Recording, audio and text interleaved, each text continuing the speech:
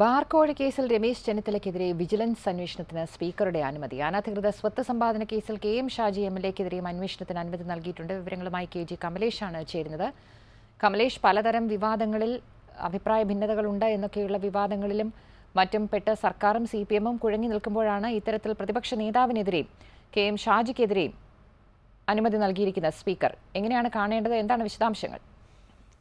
അളകന്ത bar കോഴയിൽ bar ബാറുകളുടെ licence fee കുറയ്ക്കാൻ വൻതുക വൻ തുക കോഴ കൊടുത്തു എന്നുള്ള ബിജു രമേശിന്റെ വെളിപ്പെടുത്തലുണ്ടായിരുന്നു. രമേശ് നൽകി ഒരു കോടി രൂപയും കെ പി സി പ്രസിഡന്റായിരിക്കും കൊടുക്കും. പിന്നീട് അല്ലാതെ മറ്റൊരാൾ മുഖാന്തരവും പണം കൊടുത്തു എന്നുള്ള വെളിപ്പെടുത്തലാണ് ഇപ്പോൾ വീണ്ടും ഒരു അന്വേഷണത്തിലേക്ക് കളമൊരുങ്ങിയത്. ഇതിൽ അന്വേഷണത്തിനുള്ള അനുമതി ആര് നൽകുമെന്നതിന് ചുറ്റിലൊക്കെ തർക്കമുണ്ടായിരുന്നു. ഒടുവിൽ ഗവർണർ വേണ്ട ആ സമയത്ത് മന്ത്രി അല്ലാത്തതുകൊണ്ട് സ്പീക്കറുടെ അനുമതി മതി എന്നുള്ള നിയമോപദേശത്തിൽ സർക്കാർ എത്തിയിരുന്നു.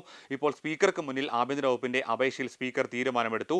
ചെന്നിത്തലയ്ക്കെതിരെ എഫ്ഐആർ രജിസ്റ്റർ ചെയ്തുകൊണ്ടുള്ള പ്രാഥമിക അന്വേഷണത്തിലേക്കായിരിക്കും ഇനി വിജിലൻസ് പോവുക. അതുപോലെ തന്നെ കെ എം ഷാജിക്കെതിരെ പ്രതിപക്ഷത്തെ മറ്റൊരു എം എൽ എ ആയ കെ എം ഷാജിക്കെതിരായ അനധികൃത സ്വത്ത് സമ്പാദനത്തിൽ അന്വേഷണം വേണമെന്നുള്ള ആഭ്യന്തര വകുപ്പിന്റെ അപേക്ഷയിലും ഇപ്പോൾ സ്പീക്കർ അനുമതി കൊടുത്തിരിക്കുകയാണ്. ചെന്നിത്തലയ്ക്ക് പിന്നാലെ ബിജു രമേശ് ആരോപണം ഉയർത്തിയത് രണ്ട് മുൻ മന്ത്രിമാരായിരുന്നു. ഒന്ന് V S Sivakumar K Babu. ഇവരുടെ കാര്യത്തിൽ സ്പീക്കർ അല്ല തീരുമാനമെടുക്കുന്നത്. മന്ത്രിമാരായിരുന്നു ആ സമയത്ത് കോഴ ആരോപണം നേരിടുന്ന സമയത്ത്. അതുകൊണ്ട് ഗവർണറുടെ ഓഫീസാണ് ഇക്കാര്യത്തിൽ തീരുമാനം എടുക്കേണ്ടത്. എന്തായാലും അളകന്ത ചൂ- ചൂണ്ടിക്കാണിച്ചതുപോലെ തെരഞ്ഞെടുപ്പ് സമയമാണ് ഈ ഒരു അന്വേഷണം വരുന്നതിന് മുമ്പ് തന്നെ ഇതിൽ രാഷ്ട്രീയ പ്രേരിതമാണെന്നുള്ള ആരോപണം രമേശ് ചെന്നിത്തലയും യു ഡി എഫ് നേതാക്കളും ഉന്നയിച്ചിരുന്നു. ഇനിയിപ്പോൾ അനുമതി കൊടുത്ത സാഹചര്യത്തിൽ ഒന്നുകൂടി രാഷ്ട്രീയ വിവാദം ശക്തമാകും.